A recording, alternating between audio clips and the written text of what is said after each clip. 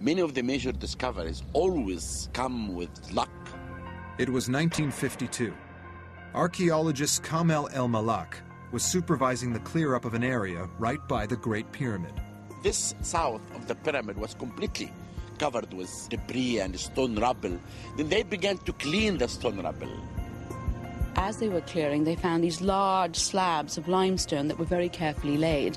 Curious, El Malak bored a small hole through one of them. When this man came and looked inside, he said to me, I did a smell history. He'd discovered 41 huge limestone blocks, weighing between 17 and 20 tons. They covered a deep pit over hundred feet long. But it was the contents of the pit that excited Egyptologists. Was this huge pile of wood and rope and oars, which gave the game away.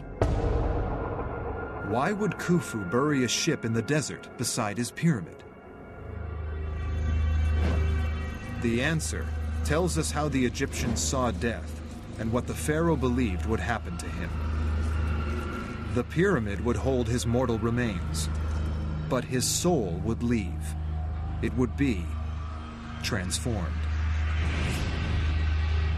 Khufu was a king and a god.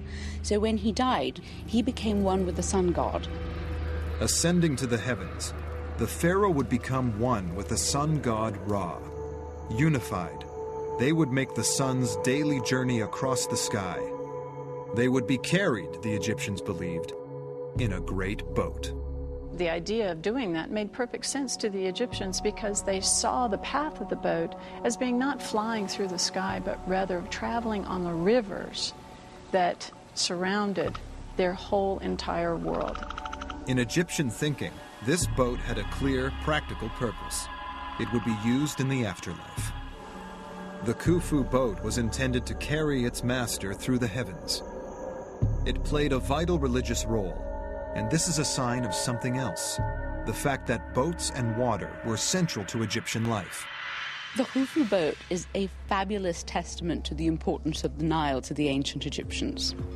Boats meant the Nile, and the Nile was Egypt.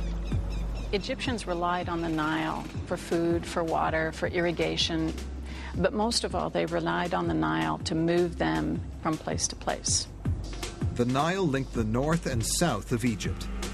The Egyptians traded with the outside world via the Nile. It was the wealth the river brought that caused their civilization to grow. The Nile was the most important thing for the Egyptians to make this civilization. And that's why we can say that with the Egyptian, the Nile built ancient Egypt.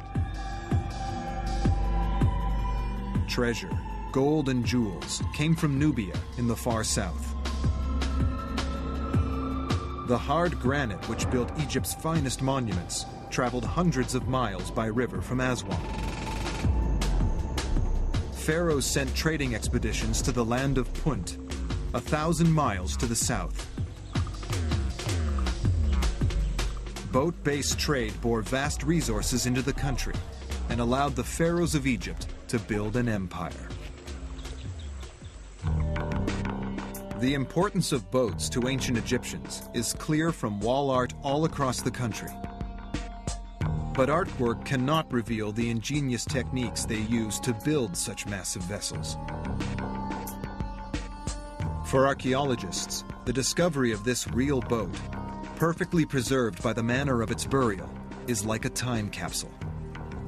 It looked as if the edges of these timbers had just come out of the shipyard and that not a second had passed over the next 4,500 years. Archaeologists can investigate ancient boat building techniques.